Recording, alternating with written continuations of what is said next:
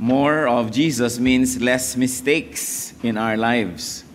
When there's more and more of the Spirit, when there's more and more of the Father in our lives, definitely there's going to be less and less mistakes.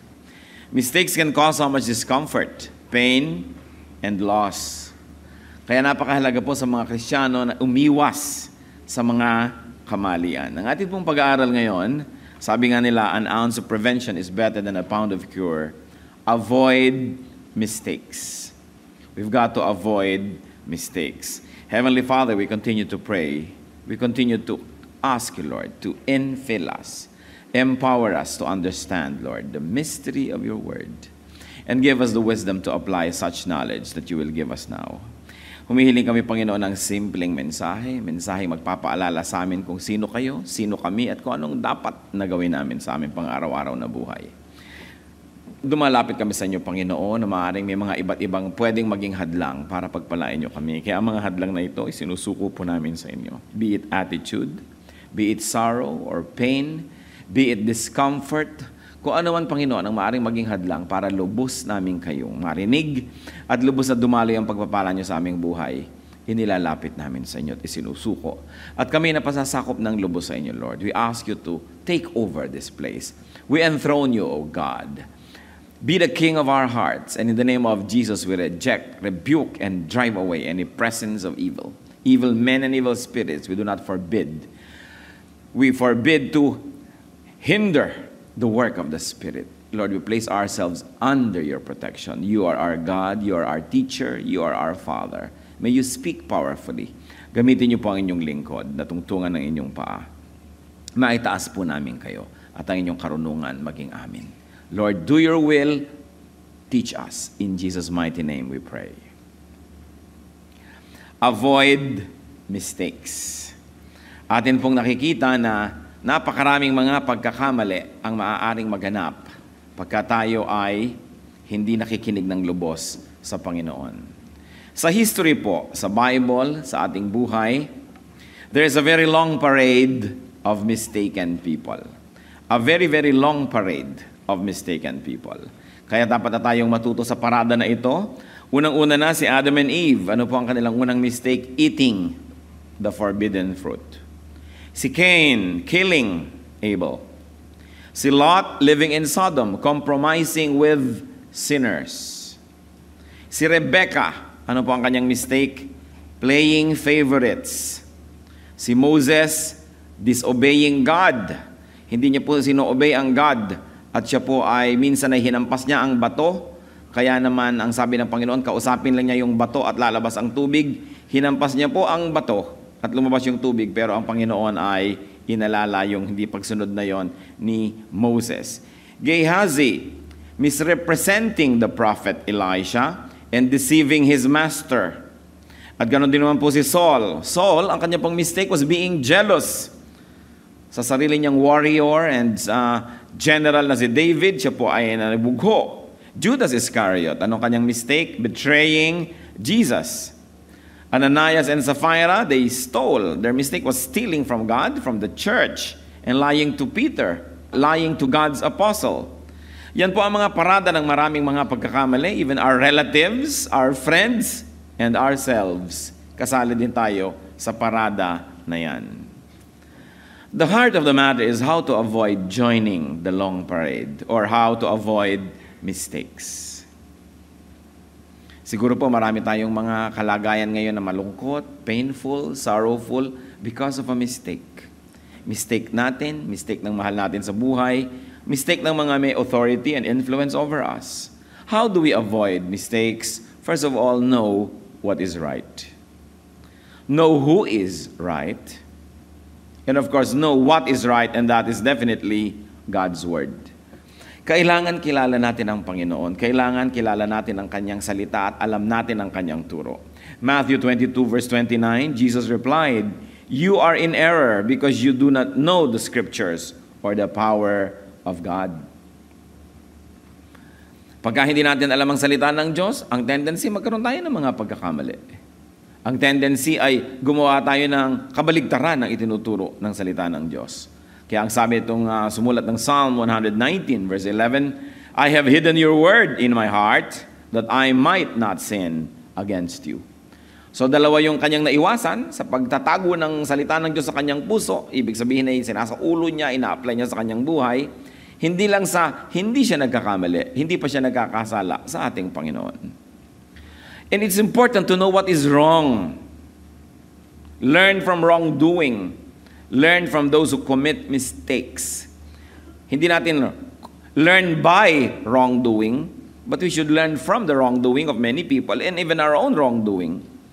Mahirap po kasi yung hindi clear kung ano ang tama at mali.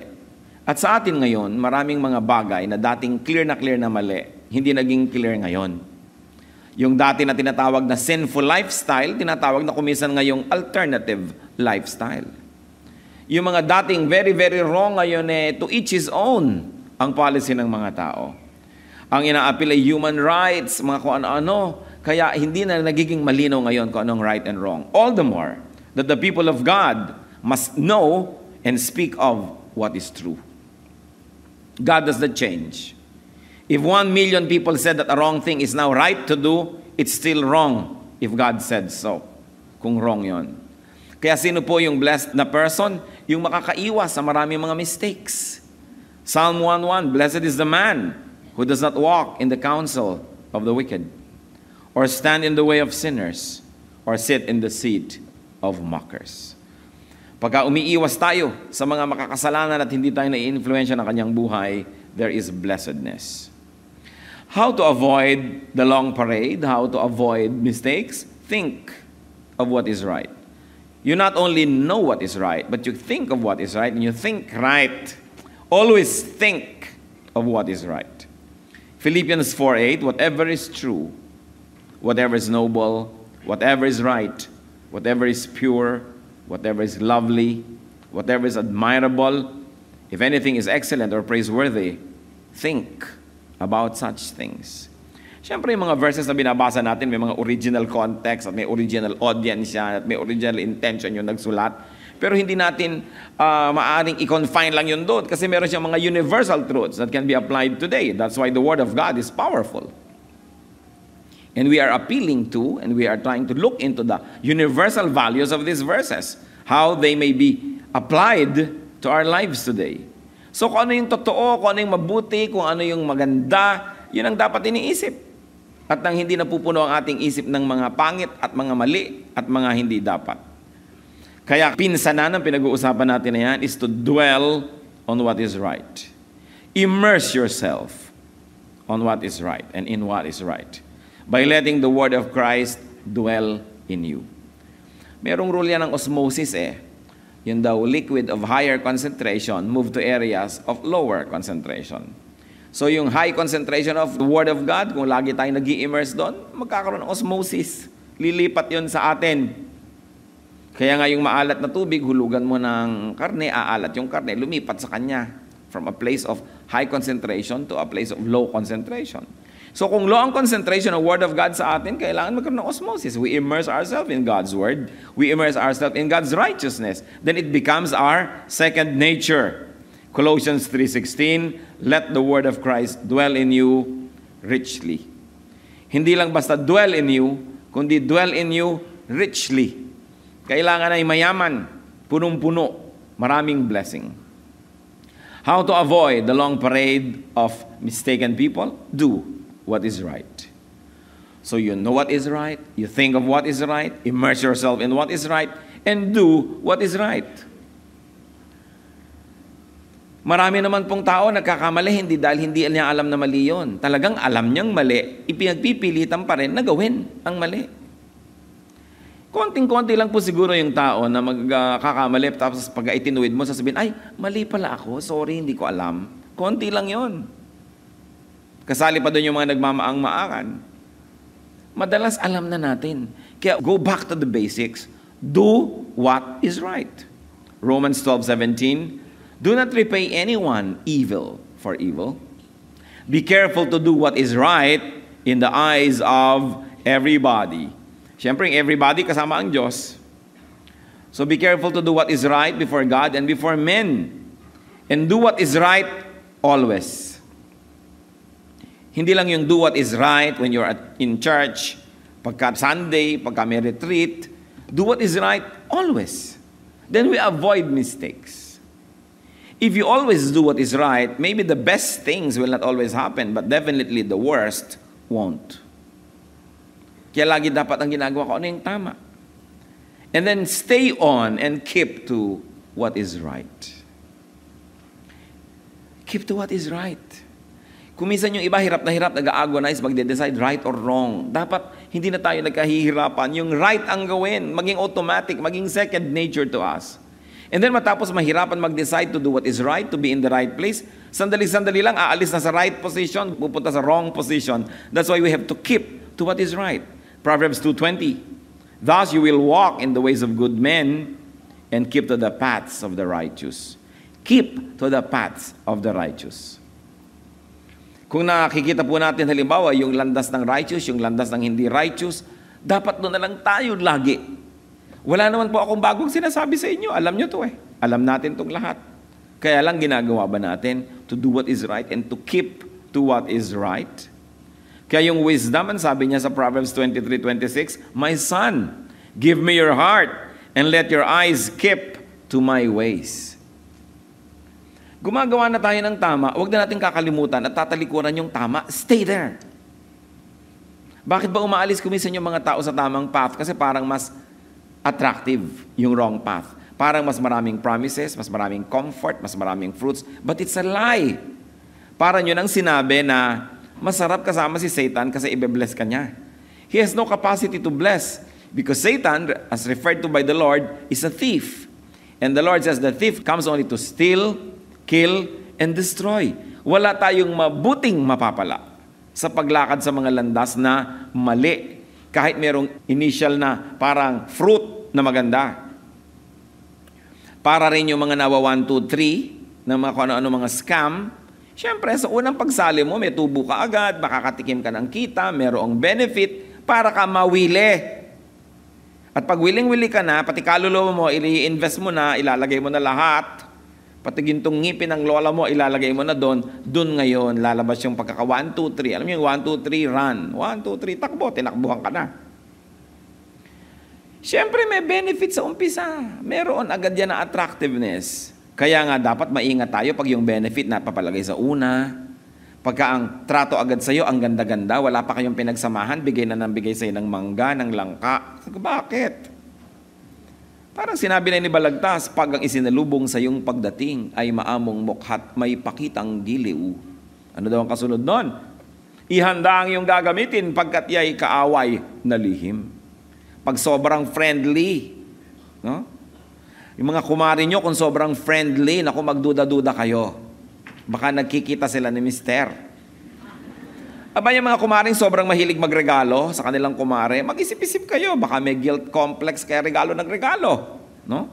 Gustong anakin lahat ng inyong anak, puntahan kayo lagi, ipagkudkud kayo ng nyog, igawa kayo ng palitaw. Laging nasa bahay nyo, mag-isip-isip kayo din. Sabi ni Balagtas, pag ang isinalubong sa iyong pagdating ay maamong mukhat may pakitang giliw, ay dapat huwag mong ilapat ang loob mo agad So ganun din po yung mga deception ni Satan. Laging may benefit, may friendliness, mayroong mga kung ano-ano mga niceness. Pero isipin mo, ito ba talaga yon? Kaya attractive yung wrong way eh. Merong instant benefit.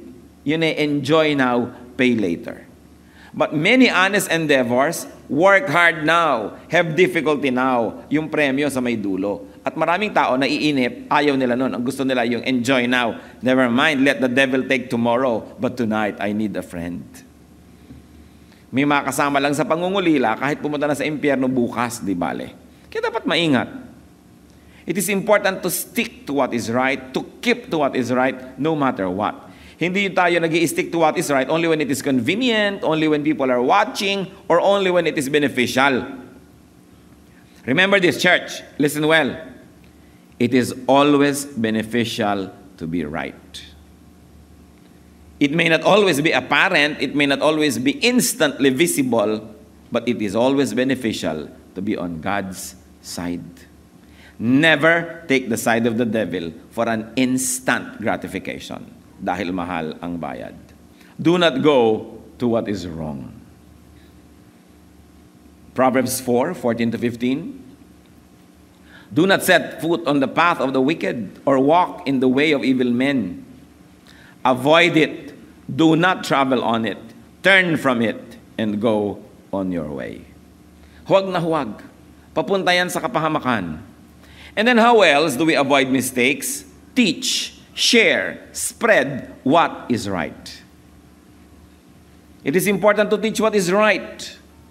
May alam tayong tama, ituro natin sa ating mga anak. May alam tayong tama, ituro natin sa ating asawa, sa ating mga kapatid, sa ating mga kaibigan, ating kapitbahay.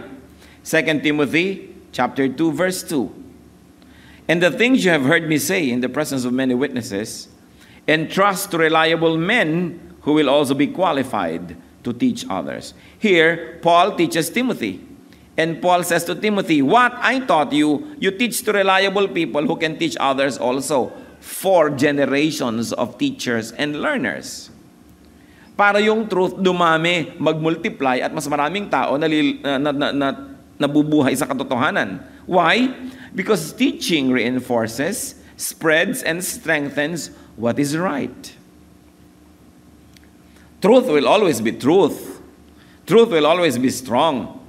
But of course, truth is all the, ma- all the more made stronger by multiplication.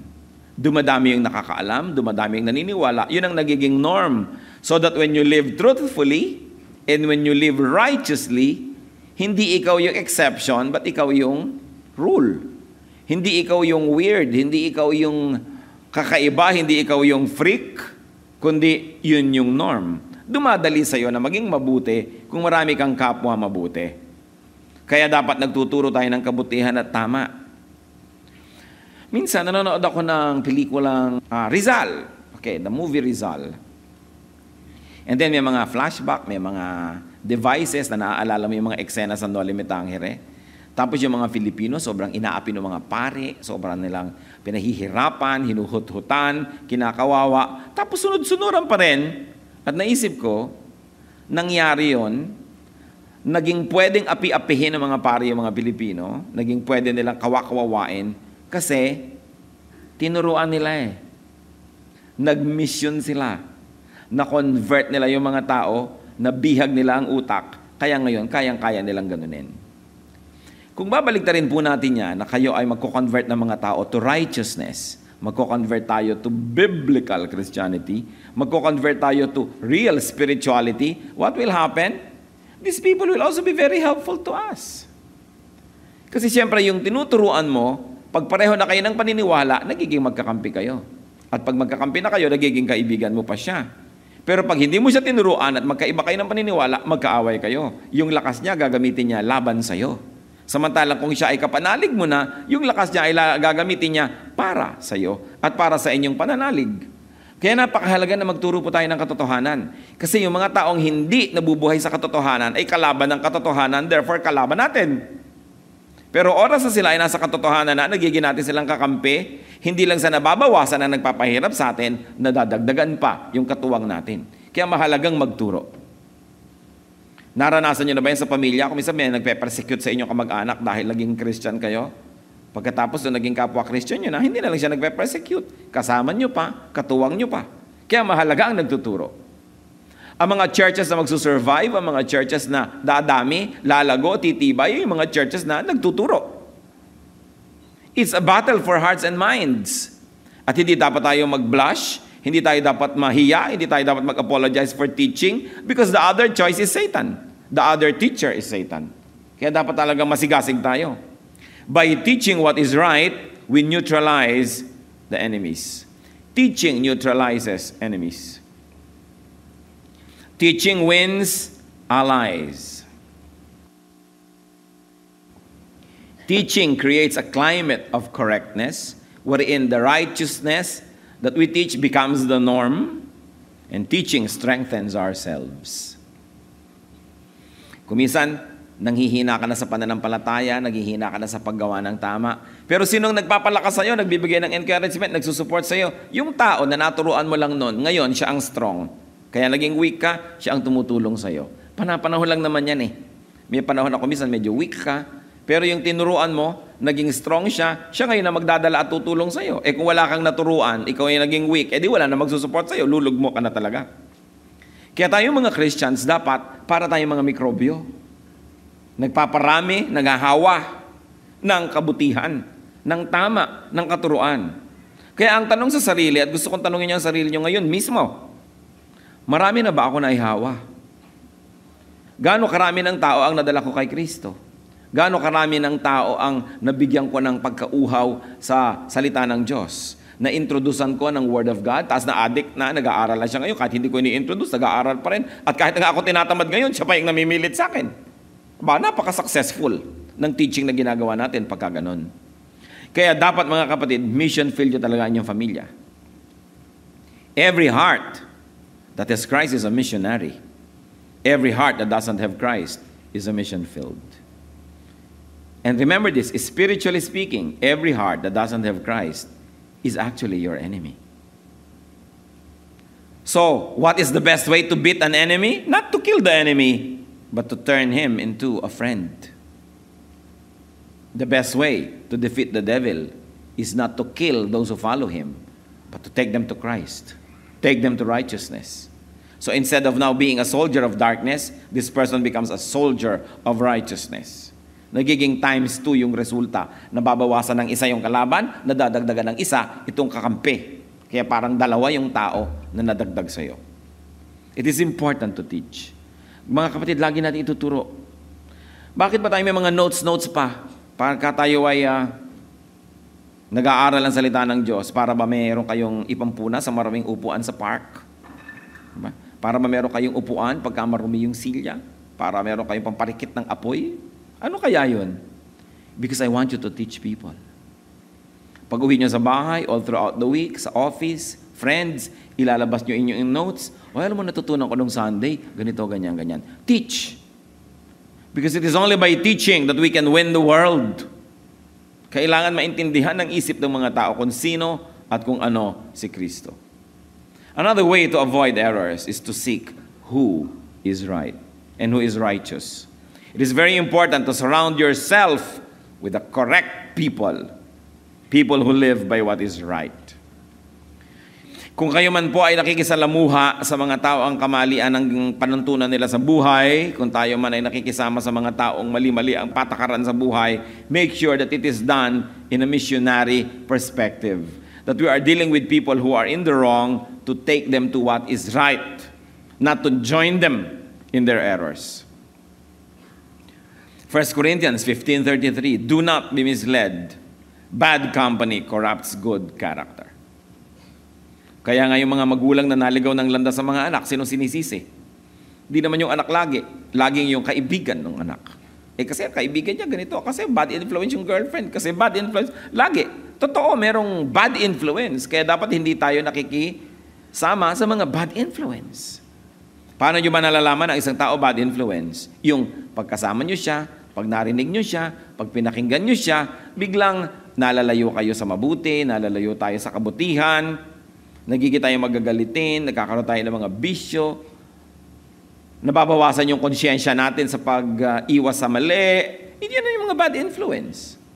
Pinapabreak sa'yo ang mga rules, pinagsisinungaling ka, sinisira yung godliness in you, ginagawa kang selfish, proud. Yan ang mga bad influence. And sabi, do not be misled Bad company corrupts good character. And finally, what else can we do to avoid joining the long parade of mistaken people? Review, remember, refresh yourself on what is right. Laging nire-review yan. Mine-memorize, pinapaalalahanan ng sarili, nagpapaalala sa sarili. Nakikinig tayo sa Christian and very positive music. We expose ourselves to righteous messages. We choose our company. We do things with the right people so that we're always refreshed. We read the Word of God. Minememorya, sinasa ulo lagi, ina-apply. 2 Peter 1.13, I think it is right to refresh your memory. Meron naman siya ibang gustong i-refresh dito sa point na ito. Pero tama pa rin to refresh our memory. Mistakes can be avoided by knowing what is right. by doing, by keeping to, and by promoting what is right. Brothers, sisters, avoid mistakes, avoid sorrow, avoid pain. What mistakes could you be committing consciously? Baka naman meron tayong mga ginagawa na alam na alam na nating mali, ginagawa pa natin. We are without excuse. Alam mong mali, ginagawa mo pa rin, walang excuse yan. What should we do? We should stop. If you're aware that you're doing something wrong, stop.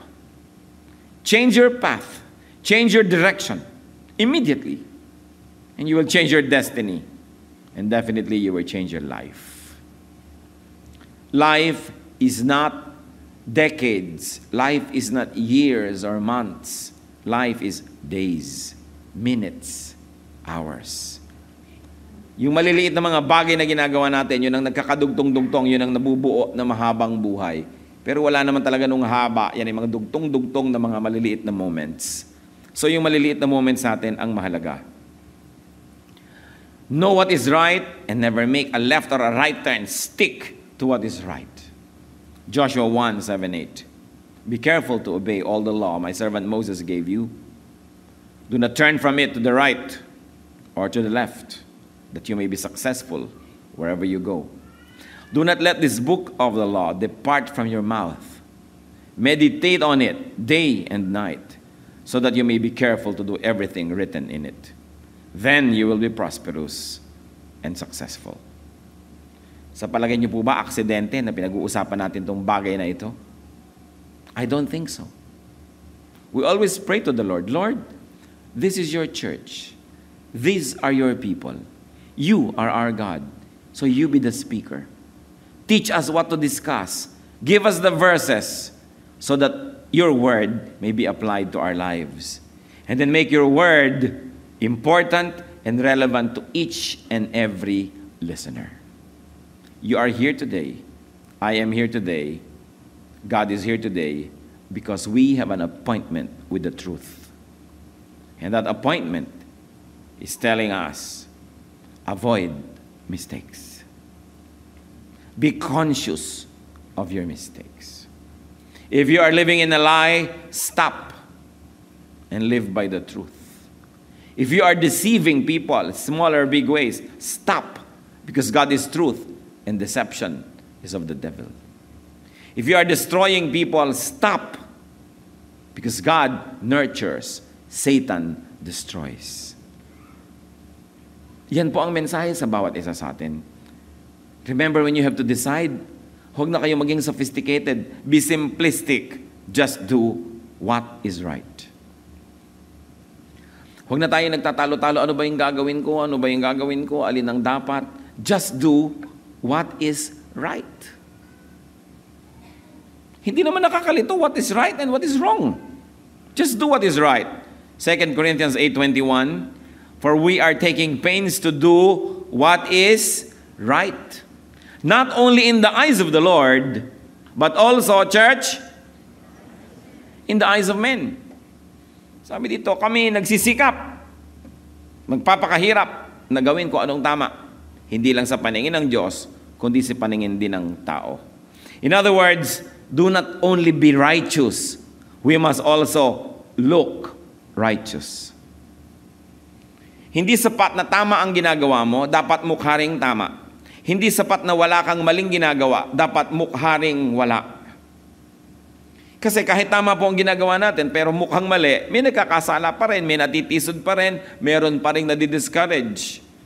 Kaya sabi, hindi lang sa mata ng Diyos ang paggawa ng tama, sa mata rin ng tao. But of course, yung kabaligtaran nun is, lalo naman dapat na hindi lang sa mata ng tao, dapat sa mata rin ng Diyos. Pero pag binaligtad mo, sasabihin kasi ng iba, ang mahalaga sa akin, ang Diyos ang nakakaalam ng puso ko. Wala akong ginagawang mali. Oo nga, pero mukhang meron eh. Kaya dapat, wala at mukhang wala. Para hindi matitisod ang ating kapwa at sila din ay encourage. Strive to do what is right. 1 John 3.10 This is how we know who the children of God are and who the children of the devil are. So pipili kayo ha? Kung kanino kayong anak. Church, read. Anyone who does not do what is right is not a child of God, nor is anyone who does not love his brother. Hmm, kanino kayong anak? Sabi, ang anak ng Diyos, tama ang ginagawa.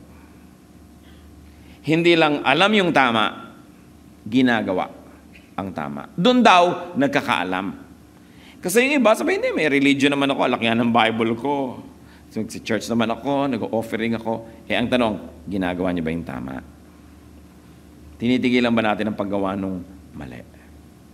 I think that the message is very clear, brothers and sisters. Avoid mistakes. And you will definitely avoid sorrow. Our God is a God of righteousness. We should not thrive in mistakes. Especially kung alam na nating mali. Panginoong Diyos, kayong kumakausap sa amin. Kayo na relevant sa buhay namin araw-araw. Kayo na nagmamahal sa amin. May mensahe kayo para sa bawat isa sa amin. Ipakita mo sa amin ang aming katayuan, ang aming kalagayan, kung ano man ang may mga natitira pa, maliliit man mga mali na pamamaraan na alam namin mali, ituro mo sa amin, Panginoon. Hindi na kung anong malit tamat sapagkat alam naman namin, Lord, strengthen us so that we may do what is right. At ang aming dalangin, Panginoon, yung inyo pong kabutihan, yung inyong katuwiran, maghari sa aming buhay. Kayo po ang siyang tunay na sinasamba namin. Kayo, Panginoong Jesus, ang Diyos ng aming buhay. Nais namin kayong sundin, nais namin mabuhay ng may katuwiran. Nais namin, Panginoon, maganap ang gusto mo sa aming buhay. Maghari po kayo. Pagliwanagin niyo ang katotohanan sa aming puso. Identify, Lord, and unmask all of these deceptions in our lives. And we pray, Lord, that your righteousness will prevail, that we will be able to avoid mistakes. Let's continue to be silent before the Lord. Continue to bask in the presence of the Spirit. Let the Spirit minister to each one of us silently.